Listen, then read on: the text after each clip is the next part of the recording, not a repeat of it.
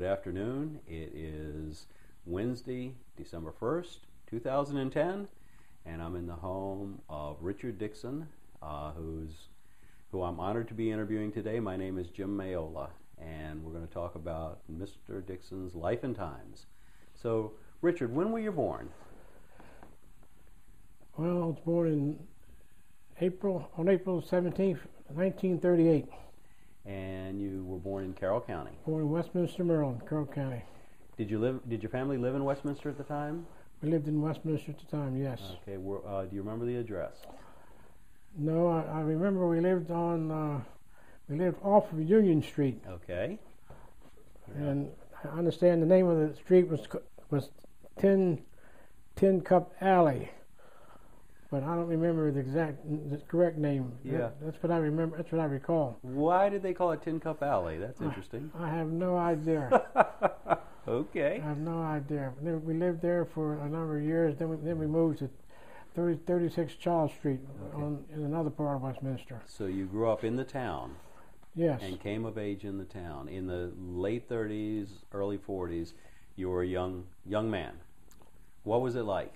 What was Westminster like in the late 30s, early 40s? Well, Westminster was, of course, a seg- seg- segregated town back in those days. hmm I went to Robert Moton School, which, which was a segregated, segregated school, hmm all black children, all, all my life. But I went there from 1944 until 1950.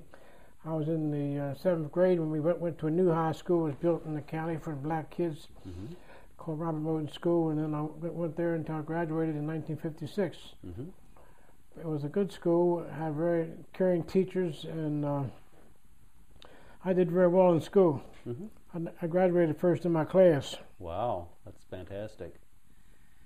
Now, Mr. Dixon, uh, they passed the, uh, let's see, the law was passed in 1954, wasn't it, to, to desegregate, and it took us a couple of years to, uh, to get around to it, apparently. So you were not, you were in a completely segregated school through your whole grade school and high school. Yes. Um, do you recall whether Westminster had any growing pains when we got into desegregation? No, I don't recall Yeah. because I know there were not any growing pains at the time I was in school, which was uh, 54. I was in the, I was in the 10th grade, and I Mhm. graduated in 56. Right. There, there, I know we had a several boys in my school went to the New Windsor School, Mhm. which, is a, which was a white school at the, at the time. Right. But uh, but but most of the kids stayed in Robert Moton School. Mm-hmm. Uh, tell me about what it was like when you were a young boy living in downtown Westminster. What kinds of things did you do? What kind of games did you play? Oh, we played a lot of baseball, softball, football. Uh huh. Uh, we didn't we didn't play on the playground because the playground was off limits to us. That was for white kids only. Yeah. I went to the movies a lot. And my father was a projectionist at the theater, so I I, I went to the movies free.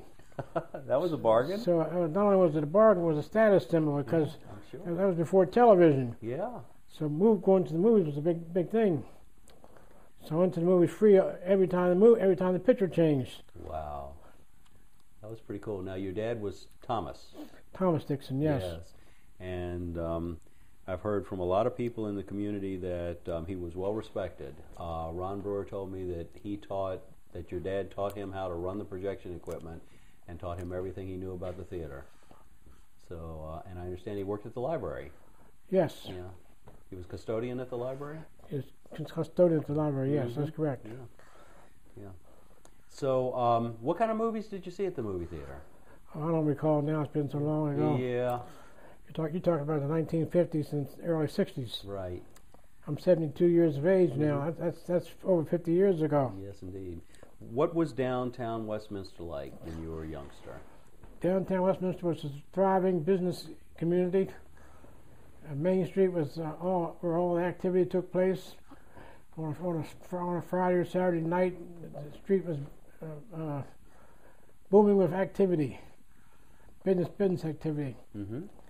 And everyone did the shopping there. All the grocery stores were on uh, were on Main Street, Mm-hmm. so it was the center of activity for the for the community.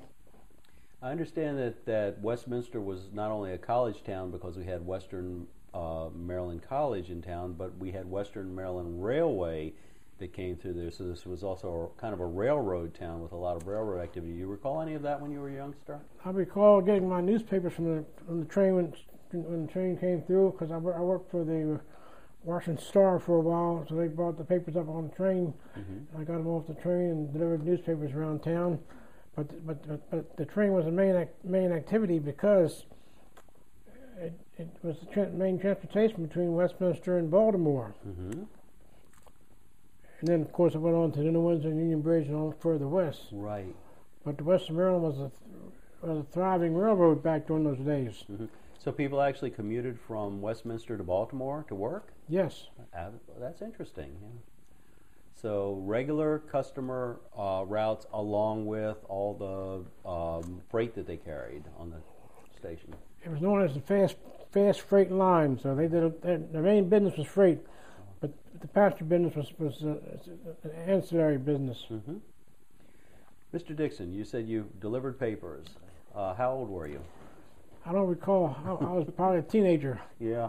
I delivered papers for the Washington Star. I had an interesting paper route because I delivered papers all over town. Uh huh. I delivered papers up as far as Fed Village, up on the eastern part of town, up past the college. And I delivered papers on Fairground Hill, on the, on the western east part of town. And the western part of town I, was was Fed, Village, Mhm. and I delivered them on a bicycle. And I had a I had a, I had a huge paper, paper route. Yeah. Most most boys who delivered papers had a route right in the neighborhood. Sure. But I delivered papers all over town. And the paper was so big on Sundays, my father took me around in his car. but it was a big paper route, and I had an interesting time because the man who was in between me and the paper, uh, my wholesaler, if you will, Mm-hmm. got in some trouble. So I started dealing directly with the Washington Star paper. Right. And they started paying me bonuses for selling extra papers on Sunday. And when I brought in new customers, I got a bonus. And it was really a thriving business activity for me. Wow, that's interesting. I bet you could tell some stories about that. Because you have the responsibility, like a mailman, you have to deliver papers whether it's raining or snowing or what. I, I delivered papers five days, six, seven days a week, Yeah. Wow. rain or shine, Yeah. snow or snow or blow. And you got to meet a lot of people. Yes, Now, did you also collect the money? I collected the money. Yeah, that must have been a challenge sometimes. No, pe- people were very good. They, Good. they paid on time. Good. I had no problem collecting money. So, um, that was your first real job then. You were basically an entrepreneur as a as a teenager. Well, that wasn't my first real job. I, I worked for a lady named Margaret Stoner, an Isaac Stoner. I worked, uh, I mowed their grass and helped out in the yard, Mhm. did, did their gardening. I, I I was doing that when I was about, about nine or ten years of age. Wow. So I had, I've had a job for most of my life, hmm but that was probably the first job I had uh, where I was doing, was really, where I was really getting paid some real money with the Washington Star newspapers. Sure. And they saw the uh, they they appreciated the, your work ethic and saw the value of what you were doing because you were helping to grow the paper. Yes. hmm What did you do um, after high school? After high school, I went to college. Okay, talk. Could you talk about that a little bit? I went to Morgan State University. At the time, it was Morgan State College. I had a full scholarship to go to Morgan because I was number one student in my class. hmm And uh, I started out being a math major, but uh, math didn't seem to agree with me, so I changed my major in my in my in my uh, second year to uh, business administration. hmm But uh, lost my scholarship in my in my, se- in my second year because my grades had, weren't weren't good enough. Right.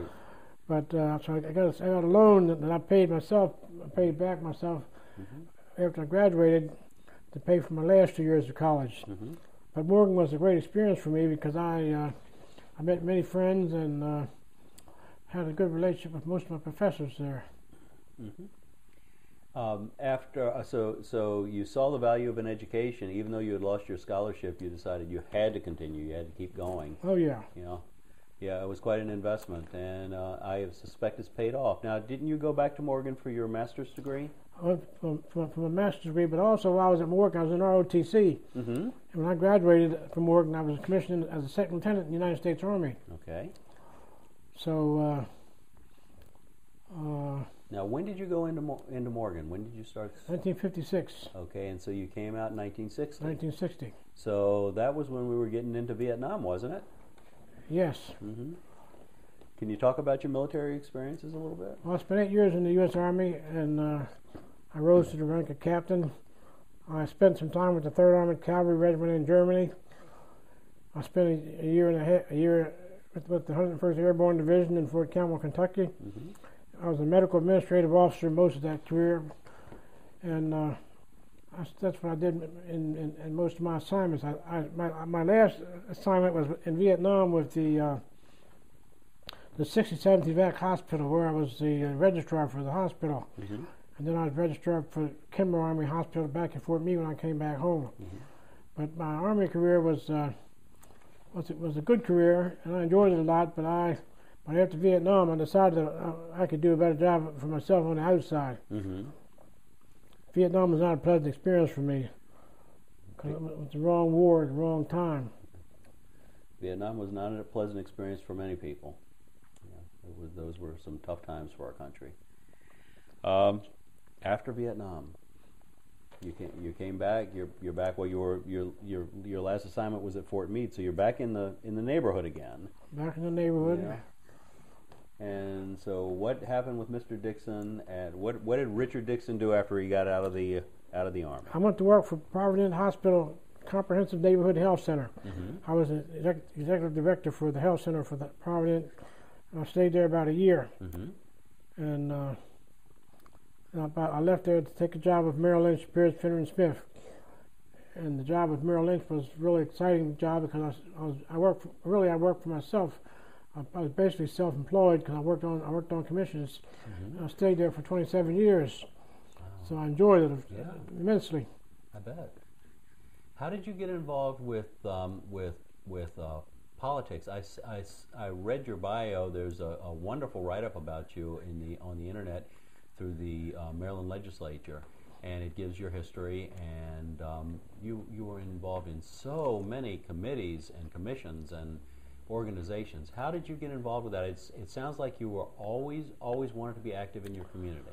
Well, I was on the school board in Carroll County from 70 to 78, Mm-hmm. and uh, serving on the school board gave me a lot of visibility in, in the community. Mm-hmm. A guy by the name of Charles Smelser, who was a senator at the time, suggested I run for public office. I told him I, I didn't think I could run for public office in Carroll County because I didn't believe I could be elected, Mhm. knowing the county was 97% white Right. and he told me he thought I could get elected and he would help me. Okay. So that's how I got started in politics. I, I tried and I ran in '78 for the House of Delegates and I lost, Mm-hmm. which I hate to talk about, but, but it was a very enriching experience losing because I ran against two other guys who were pretty pretty good fellows. Mm-hmm. I ran again in '82 after we had had redistri- redistricting and there was an empty seat or a vacant seat, I should say, and uh, I won one of the seats. Mm-hmm. I was in '82, and then I won. I won four more times. I was in office for 13 years in the House of Delegates, Wow. which is a long time to be in the House of Delegates. Indeed. And I was on in leadership. I was I chaired the Joint Committee on Pensions, and I chaired the Joint Budget and Audit Committee, Mm-hmm. And I served on the uh, Appropriations Committee for all my 13 years, which was a powerful committee to be on. Mm-hmm. I bet you have some some stories that you could tell about being in the legislature. Now, now, were you a Democratic affiliation or a Republican? I was a Democrat. You're a Democrat. You're a, an African American Democrat that was elected from Carroll County, which is 97% white and probably 95% Republican. It's, it's That's- That's astonishing. that is absolutely amazing. And reelected Yes. time and time again. yes, that is that is astonishing. Uh, Well, it just goes to show that people can respect a person for who they are, regardless of what party they're affiliated with, which I wish more people would do today. Well, I- I was the lone Democrat elected in this county for when I got elected in '82 for the first time. I was the first Democrat elected to the House in 20 years. Mm-hmm.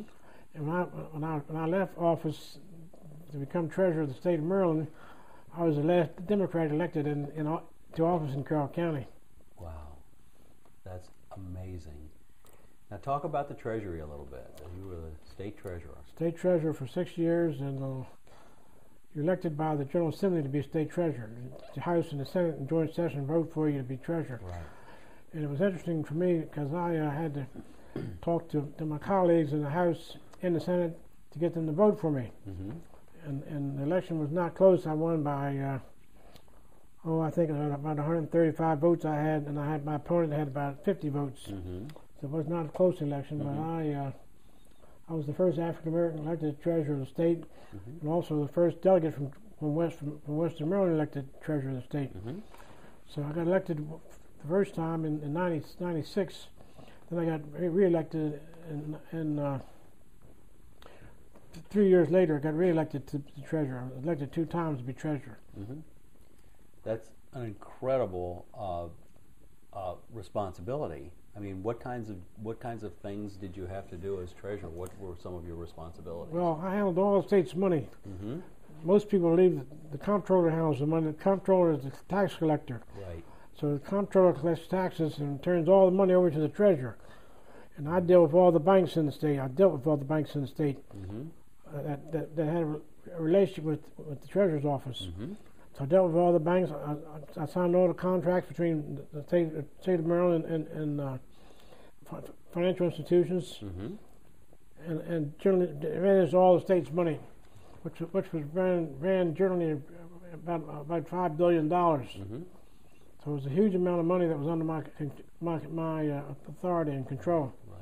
Tremendous responsibility. And and you were reelected for that position. So Yes. obviously you were well respected by your peers and you did a good job.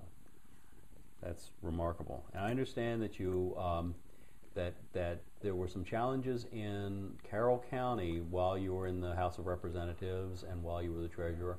And you always looked out after Carroll County during your, your time there. Can you talk about some of those accomplishments? Well, I, I looked out for Carroll County all the time, Sure. and uh, I was able to get money for the YMCA. It's out on Washington Road, Mm-hmm. half a million dollars.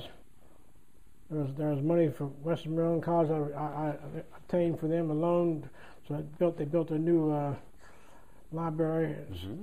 Uh, Hoover Library with, with, with two million dollar loan I received for, for, for Carroll County. Right. There are many other projects that I, I was involved in. Getting the modernization for, for Francis Scott Key High School, Mm-hmm. the the, the uh, new middle school was built on Oklahoma Road, O- O- Oklahoma Road in Sykesville. I was the key key individual in getting the money for that for that facility, Mm-hmm. and the list the list goes on and on. Sounds like you were a very active person, but you didn't slight the rest of the state. You just looked out for Carroll County, so you were responsible for a lot of things that were going on. Yes. Yeah, absolutely. Well, Mr. Dixon, what what was the most exciting time during your your uh, uh, work with the legislature? My most exciting time was when I served in, in the legislature and uh, as delegate Mhm. because I was able to work with many people down there and uh, I was able to get some bills killed on the floor of the House, which happens very rarely because normally when bills come to the floor they pass automatically. Mm-hmm. But I was uh, I was considered a very uh, bright legislator, if I have to say so myself, because when I first was elected, there were 50 new delegates in the, in the House of Delegates that year. Mm-hmm. And the news posted a poll as to who, was, who were the outstanding delegates among the 50, and I was selected, selected as one of the top five delegates out of that class of 50. Wow. So I, I, uh, I was very active in, in, in, in, in speaking on the floor, Mm-hmm. and I took an active role on working on bills that, that I that I supported and bills I, I didn't support. Mm-hmm. So so my name was. Uh, was was the name that people when people heard me speak, they knew I was serious and I, and, and they, they listened to me. They didn't ignore me like like a lot of times when people speak on the floor, no, no one listens to you. So you were actually able to kill some bills when you realized they were bad legislation. Yes, Mm-hmm. Wow. That's pretty amazing. that's very amazing. Yeah. What kind of changes have you seen in the county, Mr. Dixon? I mean, you've you've come up for, I mean, we're talking 70 years here of experience in Carroll County, what are the most profound changes that you that you've seen happen? Well, I, I believe the integration of schools was, was a profound change because I went to a school. My first s- six years, that was that was not only segregated, but was also we had we had no indoor plumbing. We had, we had outhouses for the school. No kidding. No kidding. Wow. And uh, they built a new school for us in 19, 1950, which did have a indoor plumbing. Had it had a showers for boys and showers for girls, and we Mhm. had an auditorium which, which was brand new. hmm So that was a big change. And then, of course, when they integrated the schools, that, that was a big, big change. And uh, I would say that the integration was a significant change for the county. But, but I think the most significant change was the fact that I could run for office in this county and get elected and get reelected. It shows that people will vote for you if you if they believe you can do the job. They believe you can do the job. They will vote for you. Yep. That says something about this community, doesn't it? Yes, You know, the people here um, judge you on your merits and on your ethics versus, um, you know, what what party you're affiliated with or what your background is. That's that's important. Um, any other stories that you can think of that you'd like to share with us today?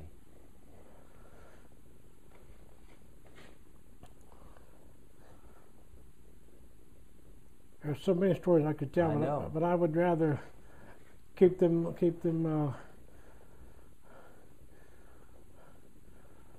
Something something that you'd like to share from your childhood or young adulthood, or something that's that that's an example of what Carroll County was like when you were when you were growing up, or you know anything.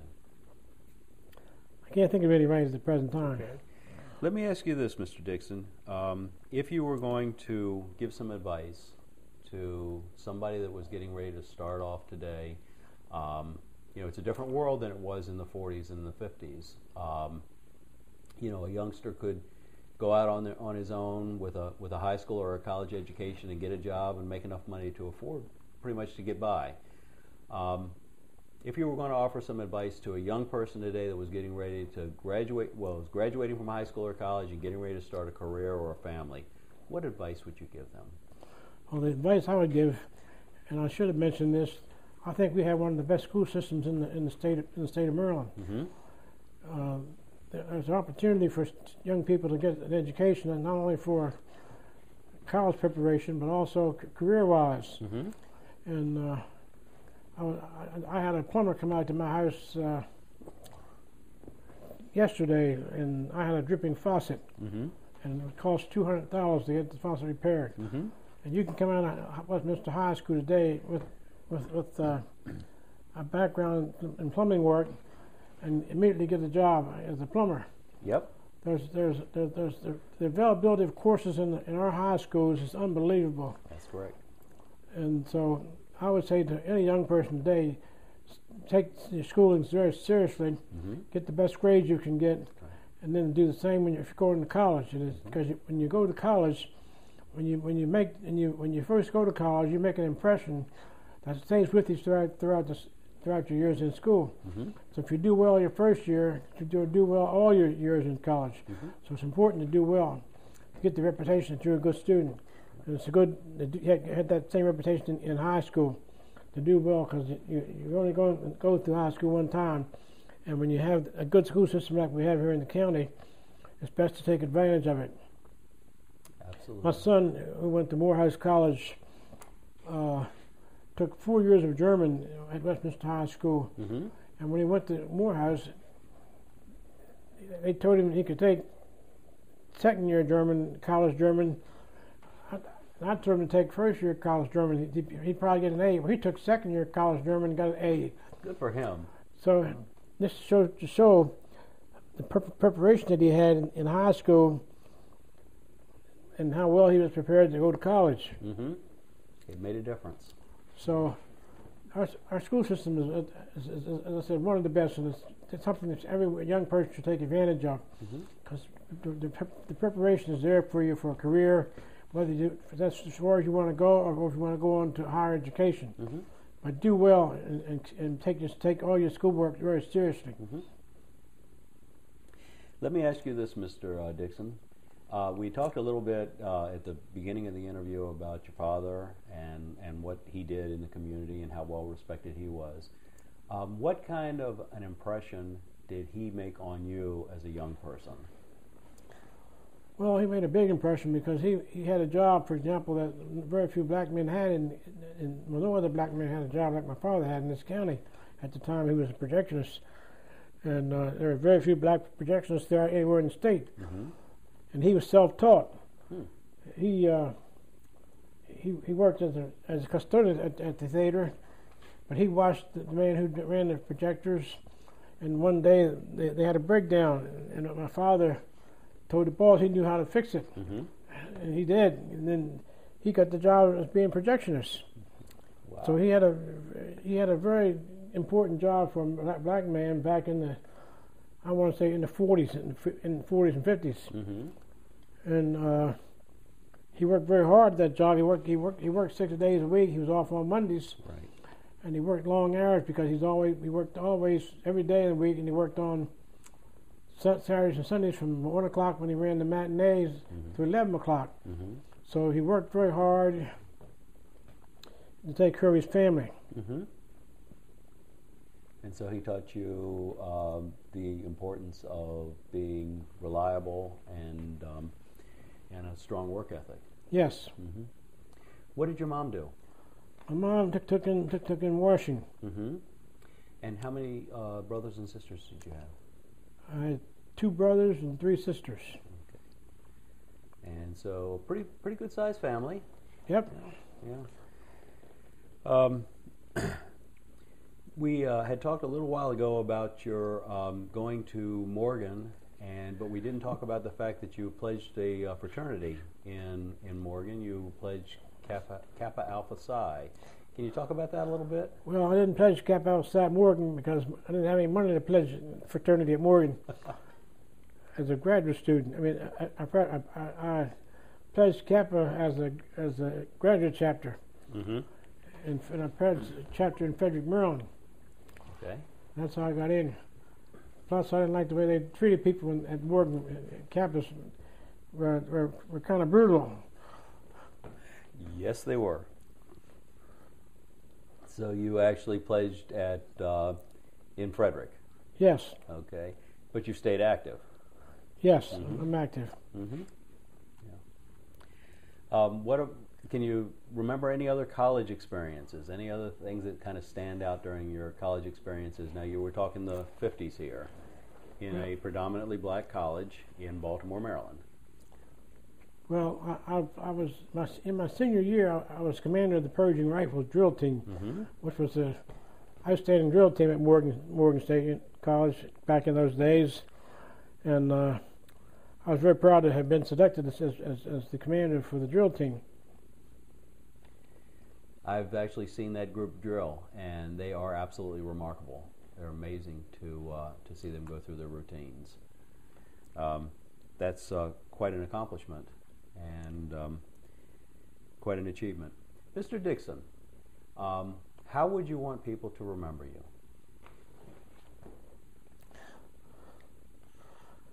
I served the people. That's, that's what I did on all my jobs. I served the people.